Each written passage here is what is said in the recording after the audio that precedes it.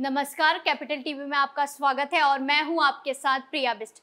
UP में लगातार बेहतर चिकित्सा व्यवस्था के लिए अहम कदम उठाए जा रहे हैं। इसी कड़ी में मुख्यमंत्री योगी आदित्यनाथ ने नवचयनित 1442 स्टाफ नर्सों को नियुक्ति पत्र सौंपे। सीएम योगी का कहना है कि बेहतर चिकित्सा सुविधा प्रदान करने में नर्सों और पैरामेडिकल स्टाफ की भूमिका उतनी ही महत्वपूर्ण है जितनी डॉक्टरों की है।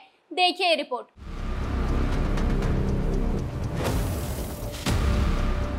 यूपी की योगी सरकार लगातार सूबे के विकास के लिए अहम कदम उठा रही है, जहाँ चिकित्सा व्यवस्था को और बेहतर बनाने के लिए सीएम योगी ने 1442 स्टाफ नर्सों को नियुक्ति पत्र दिए। मुख्यमंत्री योगी आदित्यनाथ का कहना है कि उचित चिकित्सा सुविधा प्रदान करने में नर्सों और पैरामेडिकल स्टाफ की भूमिका उतनी ही महत्वपूर्ण है, जितनी डॉक्टरों की है। समारोह में नवचिन्हित स्टाफ नर्सों को नियुक्ति पत्र सौंपते हुए मुख्यमंत्री ने कहा कि ये एक महत्वपूर्ण क्षेत्र है। आप सभी इस बात से सहमत होंगे कि अच्छे स्वास्थ्य के लिए एक मज़बूत चिकित्सा व्यवस्था उसी तरह महत्वपूर्ण है, जिस तरह किसी भी सभ्य समाज के लिए एक मज़बूत शिक्षा व्यवस्था ज़रूरी होती है। नर्सिंग और पैरामेडिकल स्टाफ के महत्व का बखान करते हुए मुख्यमंत्री ने कहा कि बेहतर सुविधा प्रदान करने में डॉक्टरों के साथ साथ नर्सिंग और पैरामेडिकल स्टाफ का महत्वपूर्ण योगदान है।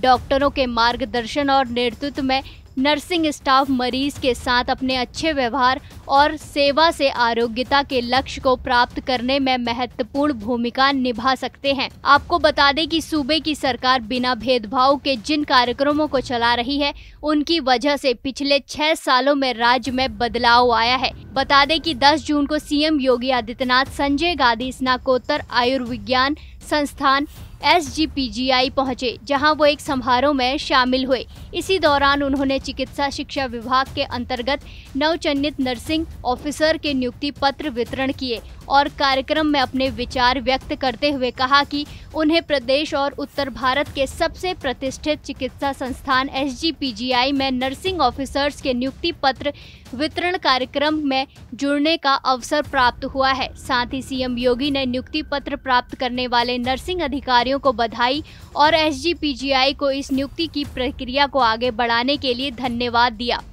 सीएम योगी ने कहा कि साल 2017 से अब तक तिरसठ जनपदों में या तो मेडिकल कॉलेज बन चुके हैं या निर्माणाधीन है। One district, one medical college आज इस सपने को उत्तर प्रदेश साकार करने जा रहा है। किसी भी सभ्य समाज के लिए जहाँ अच्छी शिक्षा आवश्यक है, वहीं उत्तम स्वास्थ्य के लिए अच्छी चिकित्सा व्यवस्था भी उतनी ही महत्वपूर्ण है। वहीं कार्यक्रम में डिप्टी सीएम ब्रजेश पाठक, मुख्य सचिव, सीएम के सलाहकार सहित कई वरिष्ठ नेता मौजूद रहे।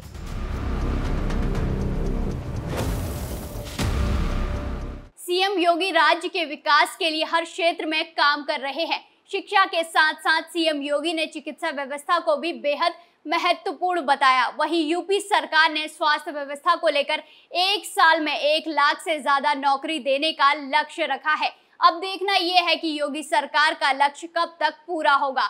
इस खबर में फ़िलहाल इतना ही। देखते रहिए कैपिटल टीवी उत्तर प्रदेश। धन्यवाद।